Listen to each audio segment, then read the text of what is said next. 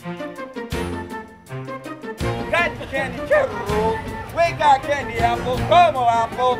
Come on, right on in. No wasting. Stop and get sweets for the sweets, yeah? People don't care. It's called a heart attack sandwich. People come to the fair for fair food. They don't care. Do I have butter dripping down my face? Yes. You know, you have to let it stay fluffy and light. And people will grab at it, and you really got to teach them. It's just a light little touch. The carnival food is one of the most popular foods at any event. You usually get it one time a year at your county fair. It's the things that people come out for. When you were a kid, you remember your first cotton candy, or people always come out for a corn dog. And here's the new foot long. I'm not eating that one. My father and grandfather realized that as we were growing up. And as daughters, when we graduated from high school, he put us into business by buying us a food stand. So she's quick enough to use all three machines. So that's the trick. Really, you barely even touch it. And then you got to throw it in the bag. Or just eat it. I have three food trailers here at this event. And right now I have 12 employees. Robert, the Pepsi's out. Robert's dropping the bomb. Is this one working? What's wrong with the water? Finally, what happened to the water, Robert? Come on now, it's busy time of the night. We need our water. So this food stand here is the one that I received when I graduated high school in 1988. So over 20 years ago, this stand's been on the road. It's got my kids on it. They love it. We're really kind of the old school food, corn dogs, cotton candy. It's usually once a year, and people will splurge while they're here. You know, they try and bring in new items all the time, you know, whether it's a fried Twinkie or a fried Oreo. There was a stand last year, they fried just about everything.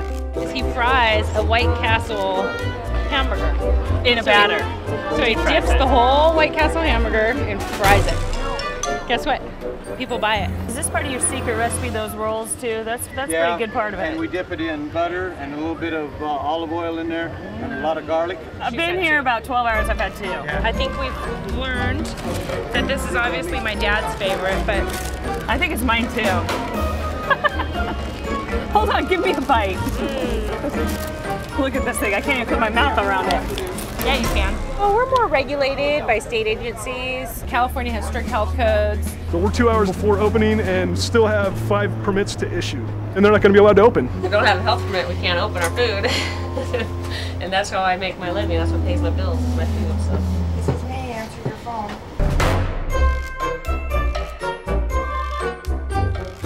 When our kids are in a parade and we love It's it. so cute.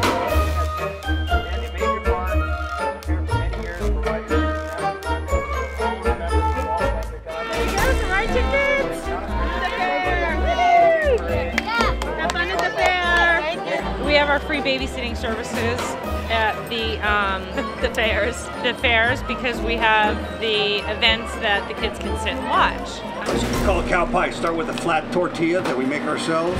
I think we need to pick this one up and just go for it.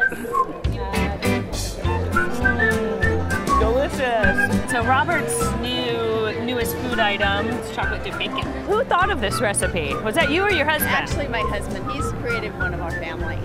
Were you cooking bacon one day and it you fell into his chocolate or uh, Well, actually, we have a stand that we do nothing but dip chocolate, and everything in the world we dip in it. This is the homemade ice cream sandwich. Now, who wouldn't love this? oh my. I tried the donut. Who wouldn't try a donut with a piece of chicken in the middle?